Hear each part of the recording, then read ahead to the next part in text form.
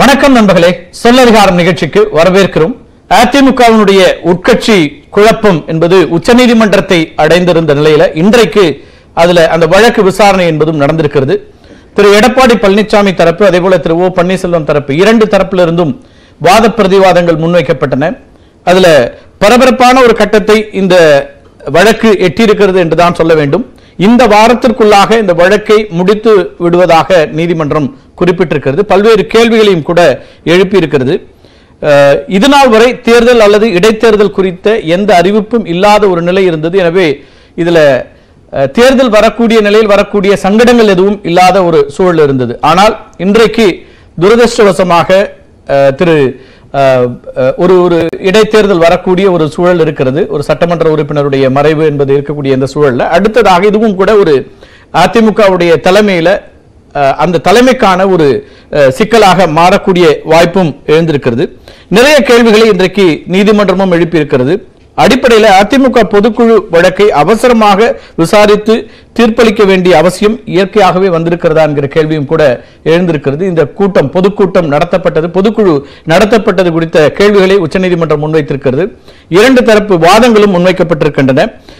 இதோடு சேர்ந்து அதிமுகவில் தற்போது தொடர்ந்து கொண்டிருக்கக்கூடிய சிக்கல்களை தீர்க்கக்கூடிய அதிகாரம் உச்சநீதிமன்றத்திடமே இருக்கிறதா? உச்சநீதிமன்றத்தினுடைய வழக்கு விசாரணையிலேயே அதற்கான தீர்வு வந்துவிடுமா? அல்லது தேர்தல் ஆணையமும் இதுல வந்து தலையிட வேண்டிய ஒரு தேவை இருக்கிறதா என்கிற கேள்விகளும் கூட எழுகின்றன. அந்த அடிப்படையில் தான் இன்றைக்கு திரு இபிஎஸ் வெசஸ் ஓபிஎஸ் பரபரக்கும் பொதுக்குழு வழக்கு முடிவுக்கு வருமா உட்கட்சி மோதல் என்கிற தலைப்பில் விவாதிக்க இருக்கின்றோம். அரங்கத்தில் இரண்டு விருந்தினர்கள் இணைகிறார்கள். திரு சுரேஷ் கண்ணன் வழக்கறிஞர் விமர்சகர் நம்மோடு இணைகிறார். அதே போல மூத்த பத்திரிகையாளர் திரு சிவப்பிரியனும் அரங்கத்திலிருந்து நம்மோடு இணைகிறார். நேரலையில் நம்மோடு இணைகிறார் மூத்த பத்திரிகையாளர் திரு தராசு ஷியாம். முன்னாள் சட்டமன்ற உறுப்பினர் திரு சுப்புரத்னம். கொங்கு இளைஞர் பேரவையினுடைய திரு தலைவர் திரு தனியரசு அவர்களும் விரைவில் நம்மோடு இணைய இருக்கிறார். அனைவருக்கும் வணக்கம். நான் சுப்ரத்னம் அவர்கள்ட்ட தொடங்குறேன். இன்றைக்கு உச்சநீதிமன்றத்தில் இந்த வழக்கு விசாரணையின் போது அங்கே இருந்தவரும் கூட வழக்கறிஞராகவும் இருக்கக்கூடிய திரு சுப்ரத்னம் ஓபிஎஸ் ஆதரவு நிலைப்பாட்டில் இருக்கிறாரு. இந்த இன்றைய நாள் என்பது யாருக்கு சாதகமாக இருக்கு அப்படின்னு பாக்குறீங்க நீதிமன்றத்தை பொறுத்த வரைக்கும்.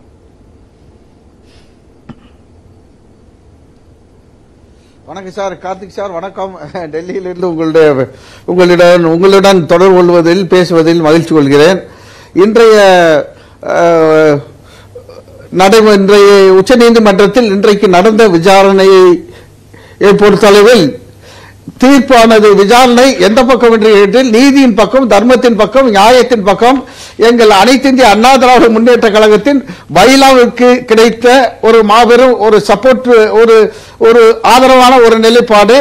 அந்த பைலாவை பின்பற்றி இன்று வரை இயக்கத்தை இது தடம் தடம்புரலாவது இயக்கத்தை வழிநடத்தி வரக்கூடிய அருமை நான் ஓபிஎஸ் அவர்களுக்கு ஒரு நல்ல நியாயம் வழங்கப்பட இருக்கிறது என்ற ஒரு நல்ல நம்பிக்கையை இன்றைக்கு எங்களுக்கு இன்றைய கோர்ட்டில் நடந்த விவாதங்கள் அடிப்படையில் எங்களால் புரிந்து கொள்ள முடிகிறது.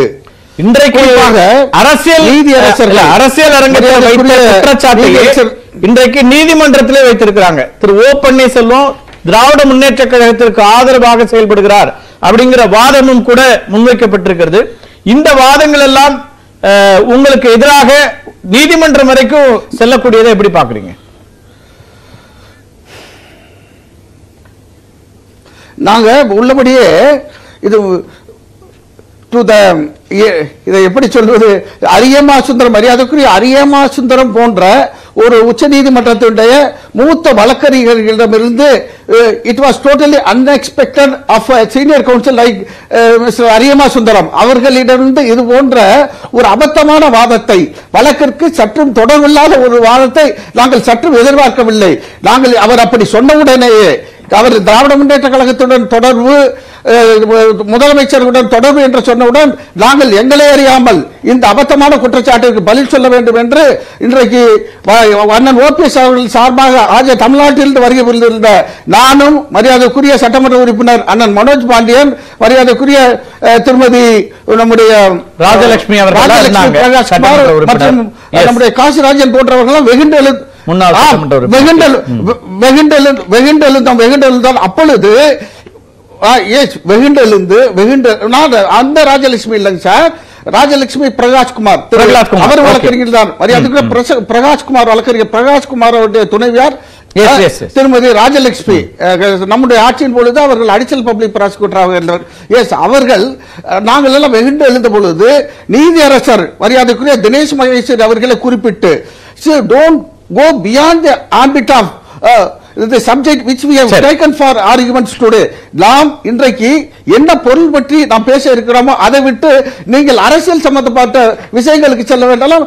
இதெல்லாம் these are all un totally uncalled for. இது தேவையற்றது. என்ன நீங்க வந்து பீங்க சீனியர் கவுன்சில் இப்படி பேசுறீங்கன்னு அவரே கண்டித்து எங்களை அமைதிப்படுத்தியதன் காரணமாக அது அந்த அவர்கள் கண்டிக்கப்பட்டார்கள். அவர்கள் அந்த வாதத்தை நீதியரசர்கள் கோர்ட் ஏற்றுக்கொள்ள மரியாதைக்குரிய stricture was pass against the senior counsel mister Aryama Sundaram அது எங்களுக்கு மிகவும் வருத்தப்படக்கூடிய ஒரு செய்தியாக இருந்தது. எப்படி வழக்கு தூங்கியது வழக்கு துவங்கியவுடன் நீதியரசர்கள் மரியாதைக்கு தினேஷ் மகேஸ்வரி அவர்களும் திரு கிரீஷ் கிராஸ் அவர் திரு கிரீஷ் கிராஸ் அவர்களும் எங்களுடைய பிரேயரை தெளிவாக கேட்டு தெரிந்து கொண்டு படித்துக் கொண்டு அவர் மிக அழக அற்புதமாக சொன்னார்கள். நான் ஆறு பன்னெண்டு ஆறு ஏழு இருபது இருபத்தி ரெண்டாம் தேதி இந்த உச்சநீதிமன்றத்தில் இந்த வழக்கு என்னிடம் வந்த பொழுது based on the merit of the case let high court of Madras decide என்று நான் சொல்லி அனுப்பியதை அன்றைக்கு விசாரித்த நீதியரசர் சென்னை உயர்நீதிமன்றத்தினுடைய நீதியரசர் திரு கிருஷ்ணன் ராமசாமி சரியாக புரிந்து கொள்ளாமல் மெரிட்டை பற்றி கவலைப்படாமல் ஏதோ உங்களுக்கு நம்பிக்கை கொடுக்கக்கூடிய நாளாக மாறி இருக்கின்றீங்க. சுப்ரத்னம். இணைப்புல இருங்க நான் வரேன். திரும்ப அடுத்த வரேன். நான் சொல்லிடுறேன். ரெண்டு சார் சார் ரெண்டே பாயிண்ட் ரெண்டு பிளீஸ் பிளீஸ் ரெண்டே பாயிண்ட் ரெண்டே பாயிண்ட் கார்த்தி சார் ரெண்டே பாயிண்ட் ரெண்டே பாயிண்ட் அவர் என்ன சொன்னார்? கிருஷ்ணன் ராமசாமி திரு கிருஷ்ணன் ராமசாமி சரியாக இந்த வழக்கை திசை மாறி எடுத்து சென்றது காரணமாகத்தான் வழக்கு இந்த அளவில் வந்து நிற்கிறது. ஒருங்கிணைப்பாளர் இணை ஒருங்கிணைப்பாளர் பொதுக்குழு உறுப்பு இது அடிப்படை உறுப்பினரால் பயிலாப்படி தேர்ந்தெடுக்கப்பட்டது செல்லாது என்றால் அவர்கள் நியமித்த அத்தனை பொறுப்புகளும் டாப் டு பாட்டம் கிளையிலிருந்து தலைமை கழக நிர்வாகி வரை செல்லத்தக்கதை பிகம்ஸ் இன்ஃபிரக்ஷன் செல்லத்தக்கதை ஆகிவிடுகிறது என்று நீதி அரசர்களே கேள்வி எழுப்பியது எங்களுக்கு மிகுந்த உற்சாகத்தை எங்களுடைய நியாயம் அங்கே Right. உச்சநீதிமன்றத்தில் நீதி அரசர்களால் புரிந்து கொள்ளப்பட்டது மட்டுமல்ல நாட்டுக்கு தெளிவுபடுத்தப்பட்டிருக்கிறது என்ற வகையில் எங்களுக்கு மகிழ்ச்சி. ரைட் பேசலாம். இணைப்புல இருங்க திரு சுரேஷ் கண்ணன்.